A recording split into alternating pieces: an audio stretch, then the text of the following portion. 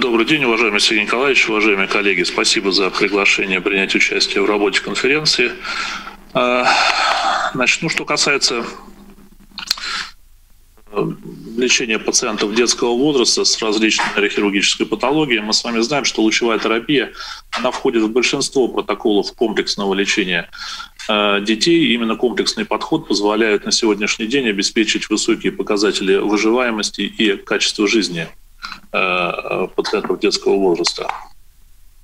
2016 года, с момента появления современной классификации ВОЗ, э, в лечении стали учитывать различные молекулярно-генетические особенности опухоли, то есть расширяются на самом деле показания к применению современной химиотерапии, таргетной иммунотерапии. Но, несмотря на использование современных химиопрепаратов и таргетного лечения, пока еще нельзя полностью отказаться от проведения облучения э, путей метастазирования при ряде злокачественных опухолей у детей. Но при этом действительно имеется тенденция к уменьшению э, доз облучения, уменьшению объемов лучевого воздействия.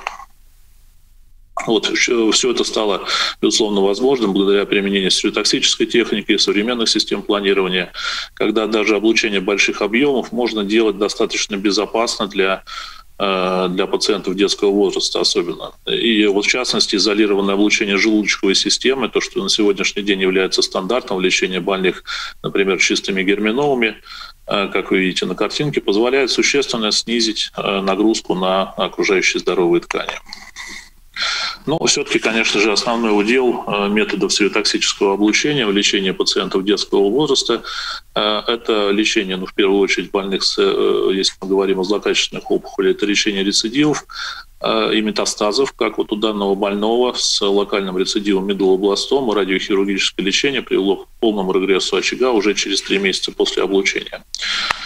А, ну и, конечно же, это лечение первичных опухолей центральной нервной системы, то есть труднодоступных, э, в первую очередь, для радикальной хирургии, как э, в силу своей локализации, как на данном слайде, либо в силу особенностей кровоснабжения опухоли, как, например, у данного пациента, у 5 э, лет с гемангиобластомой, у которого интраоперационно, по наблюдениям хирургов, вот эта опухоль выглядела как клубок пульсирующих сосудов, поэтому не брали даже биопсию.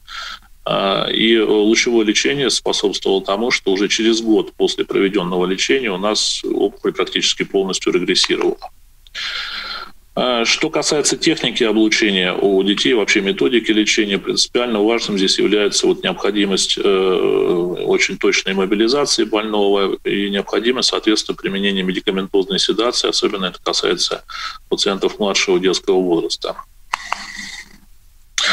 Э, в нашем центре за, э, ну, получается, это статистика где-то на конец 2018 года, прошло лечение почти 1600 пациентов, что составило чуть менее 10% от общего числа пациентов. При этом мы с вами видим, что абсолютно большинство больных – это больные с опухолями.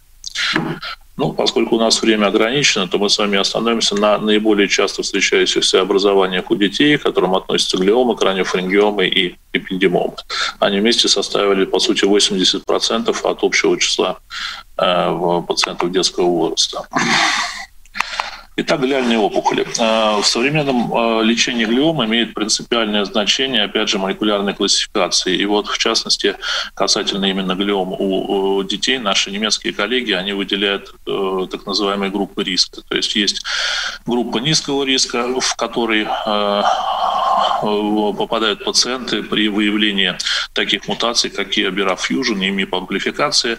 И, в частности, есть высокий риск при котором в опухоли обязательно находят такие мутации, как мутация К27 или H3F3A, по-другому она называется, и также ATRX или TERT-мутации. У нас э, пролечено более 500 больных с э, различными детскими глиомами, причем вы знаете, что пилоидные астроцитомы встречаются э, чаще всего. И у нас не так давно была завершена научная работа, посвященная этой проблеме.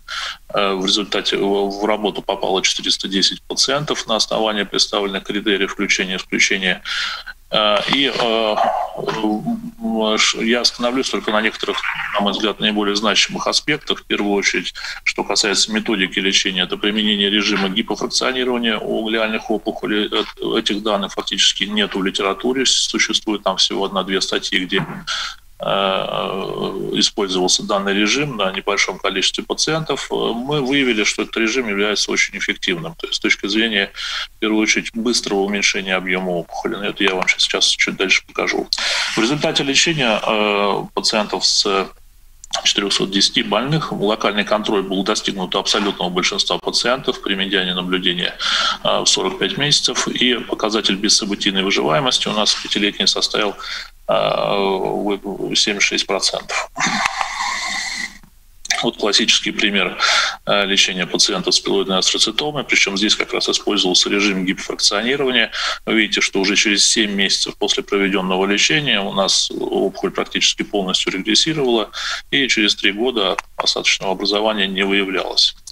Но в ряде случаев мы видели вот такую картинку, когда в ранние сроки после лечения, через 5 месяцев, было отмечено увеличение объема опухоли, усиление накопления контрастного вещества, что, в общем, не привело к ухудшению состояния пациентки. Она была отправлена под дальнейшее наблюдение, и еще спустя полгода опухоль существенно регрессировала в своем объеме. То есть речь шла о так называемой псевдопрогрессии. При этом важно отметить, что а, псевдопрогрессия чаще всего как раз является представлен как, как на это, в, этом, в этом наблюдении. То есть через 5 месяцев мы видим после облучения увеличение объема опухоли именно за счет кистозного компонента. То есть чаще а, псевдопрогрессия – это именно увеличение кисты. Еще прошло полгода, и мы видим, что, опять же, опухоль существенно регрессировала в своем объеме. А, и если брать э, данные литературы, то какого-то единого э, мнения по поводу э, дифференциального диагноза псевдопрогрессии, истинной прогрессии на сегодняшний день нет. Мы говорим о именно доброкачественных глиомах, а не о злокачественных. И, в общем-то, есть единственное, наверное, какие-то общие моменты, которые отмечают все авторы. То, что это временное явление, то, что оно всегда сопровождается увеличением объема опухоли, и, как правило, оно спонтанно регрессирует или не прогрессирует э, в течение наблюдения. В целом наша работа как раз показала, что большинство событий, э, которые происходят после лучевого лечения, а именно это 85% событий, это были именно псевдопрогрессии. То есть не локальный рецидив, а именно псевдопрогрессия. Несколько слов о пациентах с краниофарингиомами. Это вторая большая группа. У нас, если мы говорим о детях, пролечено уже там более 300 пациентов на сегодняшний день. И в институте э, ведутся, ведется ряд научных работ, посвященных этой проблеме. Вот одна из этих работ нашего коллеги доктора Саватеева Александра Николаевича показала, что нерадикальная операция и лучевая терапия обеспечивают такие же показатели безрецидивной выживаемости, как и тотальное удаление опухоли. Но при этом существенно меньше страдает качество жизни пациентов, особенно это касается больных с локализацией опухоли в области третьего желудочка. Вот, э, в частности, пример результат э, радикальной операции. То есть мы видим, что у данной пациентки в течение 7 лет рецидива нет, но развился гипоталемический синдром с ожирением, метаболическими нарушениями, э, психологическими, психическими, эмоциональными расстройствами. И э, напротив, вот у данной больной после неполного удаления опухоли был проведен курс лучевой терапии – и через пять лет мы также добились локального контроля опухоли, при этом нет гипоталамического синдрома, метаболических нарушений, а, и ну, фактически полностью сохранено качество жизни больной. А, ну, чаще всего у большинства пациентов с краниофарингиомами мы видим именно вот такие результаты лечения, то есть полный или практически полный регресс опухоли в ответ на проведенное лечение. У краниофарингиом есть ряд особенностей, которые хотелось бы отметить. Вот, в частности, это при э, наличии кисты в краниофарингиома, это абсолютное большинство, наверное, опухолей. А во время курса лучевой терапии опухоль может менять, э, киста опухоли может менять свой объем, то есть в сторону увеличения. И Э, здесь либо на этапе еще до лучевой терапии имеет смысл обсуждать с хирургом установку системы АМАЯ для контроля объема кисты, либо э, в ходе проводимого курса лучевой терапии, особенно если это длительный курс, полтора месяца, проводить э, динамические МРТ-исследования для оценки объема кистозной части опухоли. У краниофарингиом на самом деле также встречается состояние временного увеличения объема, то есть, по сути, можно сказать, тоже псевдопрогрессия, когда в ранние сроки после облучения мы видим увеличение объема кисты. Поскольку эффект от лучевого лечения у нас срочного времени, И вот вы видите, вот в данном наблюдении через 5 месяцев после лечения киста в опухоли стало больше. Прошло еще полгода, и мы видим, что остаточные опухоли не выявляются, несмотря ни на какое, то есть никакого дополнительного лечения больному не проводилось. А третья большая группа – это пациенты с эпендимомами. А, у нас было пролечено уже на сегодняшний день это более 200 больных с, с эпендимомами. Не так давно была проведена работа, которая показала Э, эффективность радикальной операции, необходимость проведения э, локальной терапии у пациентов с, э, с неполным удалением опухолей и у больных с, с злокачественными эпендимомами.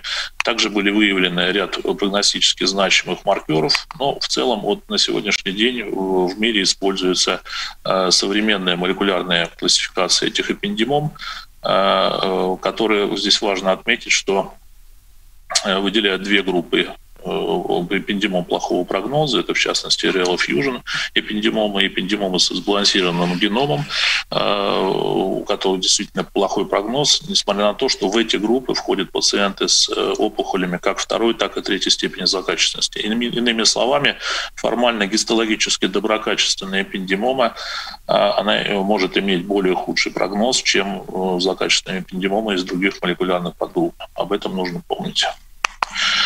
А, ну, в заключение хотелось бы мне также отметить, что у нас появился положительный опыт лечения а, детей с пенобластомами. На сегодняшний день уже пролечено более 20 пациентов. Это лечение проводилось как альтернатива э, энуклеации глазного яблока. И важно отметить, что контроля мы добились у фактически 90% детей при а, сохранных или даже улучшенных зрительных функциях после проведенного лечения. А что касается осложнений, ну, видите, представлены здесь осложнения, они всем известны, и, как правило, они э, связаны с облучением именно больших объемов, то есть это результат спинального, крайнего спинального облучения. А после сильтоксического облучения чаще всего выявляются какие-то локальные лучевые э, повреждения, э, которые, как правило, бессимптомные и регрессируют самостоятельно или на фоне назначения стероидной терапии. Но в целом, конечно же, осложнения стереотаксиса, они требуют отдельного анализа и пересмотра. Уважаемые коллеги, спасибо вам за внимание.